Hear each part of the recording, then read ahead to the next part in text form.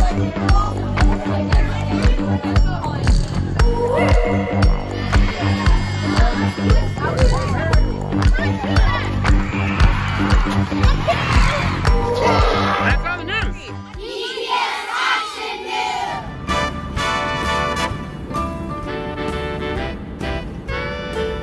Welcome to the DGS Action News. I'm Fletcher and I'm part of 7th grade.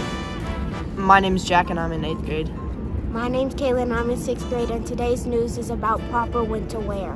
And if hoodies are jackets, and I'm hoodies because it is easier to carry around in class because it is hot inside. For me, jackets are preferable to wear in winter, especially in snow, because they provide more warmth and they are more water resistant. For me, it's hoodies because they're lighter and they have like way better colors and they're more comfortable, I think. Let's go, let's hear from some other students. We are, we are, we're curious about sweatshirts or jackets. So why, why jackets or why sweatshirts? Peyton, you have a jacket Because it's cold out here? because it's cold out here. Now I see over here sweatshirts. Why, why no jacket? They're Stylish. But your, your, your jacket's very stylish. No! Jackson, Jackson, get to my car. Britt, why are you not wearing shoes? They fell off while I was running. If they fell. Uh, Mr. Jaquette here with some live in-depth reporting. Uh, we are in a snowstorm right now, and we want to answer the question: Why is it that middle schoolers don't wear jackets during cold and snowy weather? There's even students who brought warm jackets to school, and they just leave it while it's snowing. We do have some students though that have decided to embrace layers and jackets. Let's talk to some of our eighth graders to get the in-depth scoop. Four eighth graders, all with a jacket. It's like seeing a double rainbow. Please explain the virtues of jackets. We prefer jackets because they're very much warmer than sweatshirts and you don't freeze. Don't freeze. Gotta layer up. That's a sweatshirt under. Get- layer up!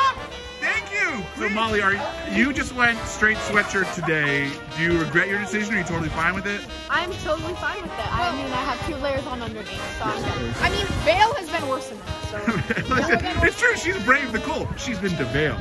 Okay, over here, for data purposes, three sweatshirts, one jacket. Vivian, are, are you still look like you're cold even with the jacket? All right, we got, okay, so that we got not only no jacket, but shorts. Is it always gonna be shorts all winter long? Yep, Do you own pants? yes. When do you wear pants? The summer. summer. Are you, when do you wear pants? The summer. summer. Are you just trying to mess with everyone? We got three jackets. Three jackets right here. Why why jackets, gentlemen? Oh, I don't know. I just felt like it. Style choice. Style choice. Style choice. Style choice. Style choice. Can we just get the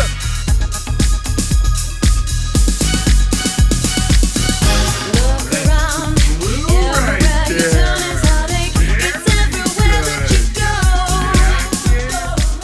Now, now, Paul, I this is a great jacket. Yeah. What what are all these people doing? what are all these people doing with no jackets? I don't know.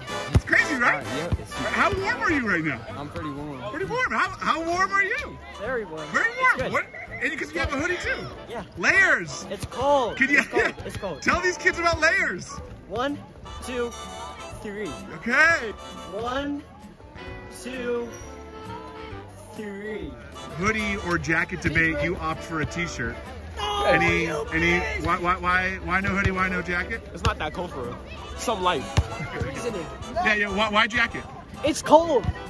Oh, And any rebuttals? um, yeah, that's right. It's not cold.